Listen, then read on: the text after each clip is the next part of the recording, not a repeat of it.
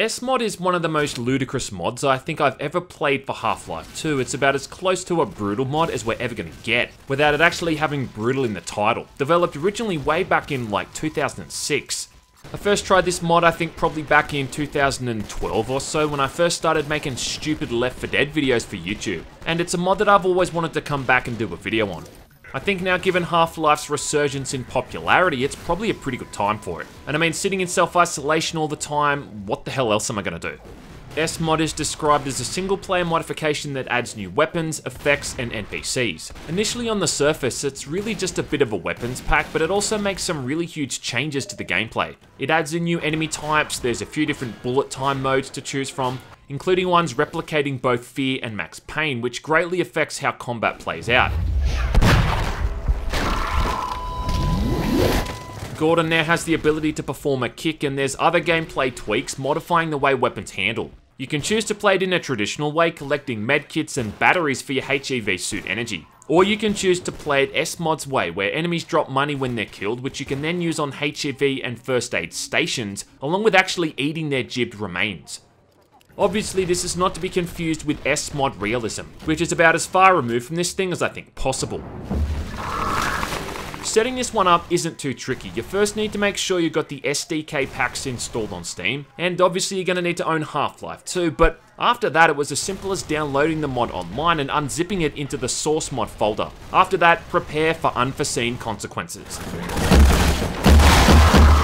This is about as over the top as Half-Life 2 is ever going to get outside of Garry's mod. For starters, the increased violence and weapon effects makes the shooting so much more satisfying. It's incredibly cathartic landing a headshot and just seeing this fountain of blood erupt from an NPC, like it's some kind of late 70s Tom Savini effect.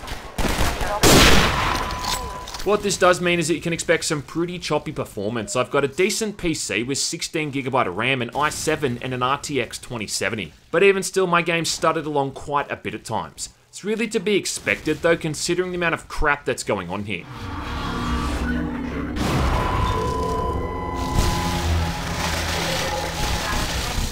There's a few cool things that S-Mod adds in too, like during Water Hazard, there's a point where the airboat goes missing and you have to drive the buggy around for a bit instead, which is pretty fun seeing this whole chapter through an entirely different vehicle. At the start of the game, when that dickhead Metro cop asked you to pick up the can and throw it in the trash, now the can is explosive and you can throw it back at the guy setting him on fire. during Ravenholm, and when you return to City 17 for Anti-Citizen 1, there's also Friendly Combine with Black Mesa logos on their sleeves who fight alongside you. Even during Highway 17, old mate Adrian Shepard shows up at one point to lend a hand. In Nova Prospekt, you'll see cloaked Combine soldiers. And they've also added back in the Combine Assassins during these chapters too, who are kind of like the Assassins from Half-Life 1. And these new enemies are really mobile and dummy thick. Then there's the weapons. My god. The weapons. It's almost too many to count. I think with the pistols alone, there's more here than the entirety of the original weapon lineup from Half-Life 2. This is what makes the mod so over the top and enjoyable and you might just want to bind a give all weapons console command to something easy on your keyboard, so you can play around with all this stuff as quick as possible. You've got Gordon's returning pistol, which you can now dual wield, and combined with the bullet time mechanic, it's like you're in your very own John Woo film.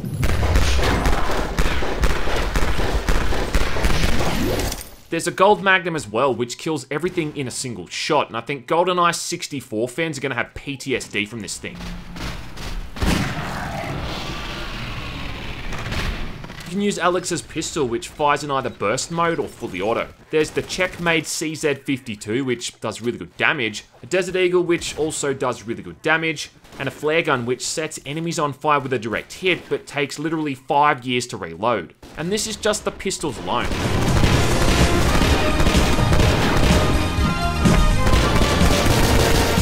In the next category, you've got a whole bunch of new guns, mostly just variations on the MP7 and the pulse rifle, being automatic weapons like an AK-47, the M3 grease gun, MP5, MP40, P90, and an M4 carbine. The last two I think just being the same weapon models from Counter-Strike Source. They've also included the XM29, which was a gun that was originally in the old Half-Life 2 beta. That beta that we all downloaded from LimeWire, or whatever other virus-ridden file-sharing program we were using at the time. My only real issue is that some of these guns take really long to reload, which kind of takes a bit away from the whole carnage element when you're having to stop for 3 or 4 seconds waiting for Gordon to reload the damn thing. It almost seems like you pretty much have to aim down the sights with these guns too, because aiming down the sights makes it leaps and bounds more accurate than hip firing. The next category though is the real shit, and this is where it starts to get really fun. Obviously you've got the shotgun and the crossbow returning from vanilla Half-Life, but the other guns are just pure unrestrained absurdity. Again, another weapon taken from CS Source is the M249 light machine gun, which is a gun that was also in Half-Life Opposing Force. Now this thing is just fucking awesome and it can be fired for a dog's age before reloading. It's really accurate when aiming down the sights and it does really high damage. You can just shred through Combine with this thing. The best gun here though is the Jackhammer by far. This was a gun that's been in a few other games like Max Payne and Far Cry and again it just completely tears everything in your asshole. Combine it with the bullet time mode for some seriously satisfying kills, like it almost defies the laws of nature and how much fun it is.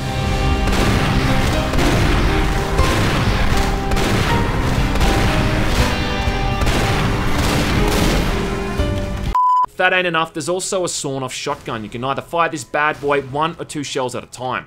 But even a single shell has the power to turn most enemies into a shower of pulverized body parts. You've got a few different rifles in this category too. You've got the M1 Garand, the Dragunov, and a Kar 98K.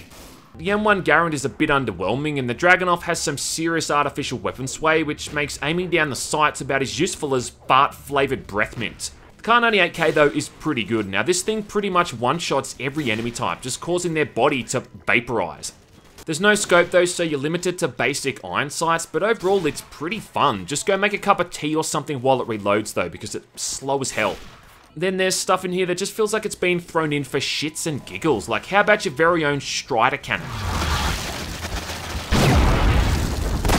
Or how about a flamethrower? There's a minigun in there too, because of course, why wouldn't there be? You can even carry around a little box of beans and go around throwing soy at people, kind of like a video game equivalent of what Kotaku has been doing for years now. You can throw out a bunch of bananas and then detonate them with the alternate fire, which I think might be a reference to the Worm series. You can use a PSP and launch out explosive UMDs, which alone is more fun than actually playing a real PSP.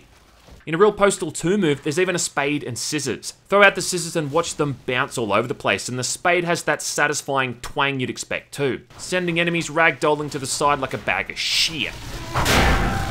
I think my favourite weapon though, without a doubt, is the Stuff Launcher. With the alt fire you can zap up an object and then it's stored in the weapon, and then with the primary fire you can shoot out as many of that object as you want. Some useful and deadly, others not so much. With the Stuff Launcher, you could even spawn in enough Combine Assassins to repopulate all of Earth four times over. Yep, four times over. If we load this up with a cinematic mod, potentially I could kill people by shooting Alex's dildo at them. Imagine that, Death by Dildo. It's a good name for a band. For real though, this is the most fun I had in the entire mod. You can launch dumpsters at people, you can launch barrels, how about the buggy or even an airboat? Everything is a weapon. In Nova Prospekt, I was even able to start shooting out toilets. This is the absolute peak of gaming right here, folks, and one of the reasons I love PC gaming so much.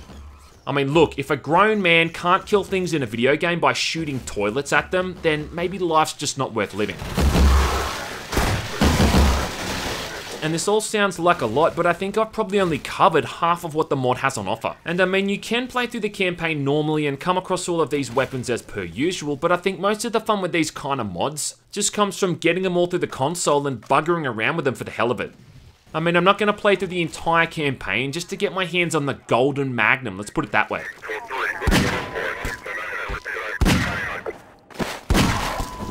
Playing around with the bullet time modes, you can have some pretty cool effects too. Time stop's probably my favourite one. Now this stops time, obviously, but lets you move around pretty much at normal speed. You can fire off a bunch of shots at someone and then when time resumes, enemies take the full brunt of it at once. It's awesome. You can even do that shit they do in anime where you hit a bunch of dudes with a sword, resume time and then watch them all fall to the ground at once.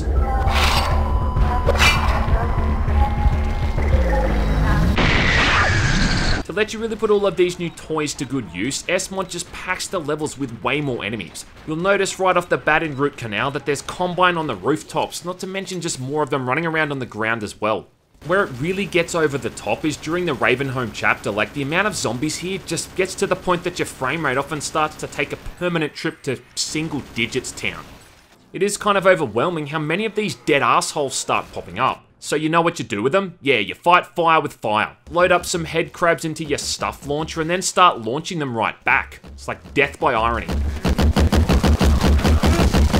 This does make the mod a lot harder obviously as the enemy count is way up there. So maybe just drop it down to easy or something so you can have more fun throwing scissors at people or crushing them with a dumpster. I mean, look, Sunny Jim, there's no bragging rights for finishing S-Mod on hard mode, so don't waste your time. You do get the sense of this mod being a bit of just throwing a bunch of shit at the wall and hoping it sticks. There are some weapons in here that either just don't really work within the game or actually don't work and are outright broken. But to be honest, I found the whole jank aspect to everything the most appealing factor, like it's so broken and over the top that I just can't help but enjoy myself when playing it. I probably finished Half-Life 2 more times than I can count now, and I know the level design like I know the back of my ass. I don't even know what that means. So being able to play it and just see how much I can break the game with all these ridiculous gadgets is about as fun as it can possibly get. Unless I somehow find a way to wipe my memory and play through the whole thing again from scratch. Like a lot of mods, this thing is broken as shit too, and it crashes all the time. Not to mention map transitions often don't always work properly, so you've got to go into the console and load the next map manually, which is a bit of a nuisance. So yeah, get used to seeing this. A lot of the scripted events just don't work for me either, like when you first get to City 17 or loading up the Ravenholm chapter, Father Grigori doesn't even react to me at all. Now, I don't know if this is something I did personally or if the mod is just buggering up. Either way, it just reinforces what I said earlier. Look up those console commands for how to skip levels, get weapons, and all that kind of crap, because you're gonna need them. Still, I do think S-Mod is a whole heap of fun, and if you're just absolutely sick of playing through this thing vanilla, and don't mind seeing Half-Life 2 having more shit thrown at it than a cheap stripper, well, it's definitely worth playing.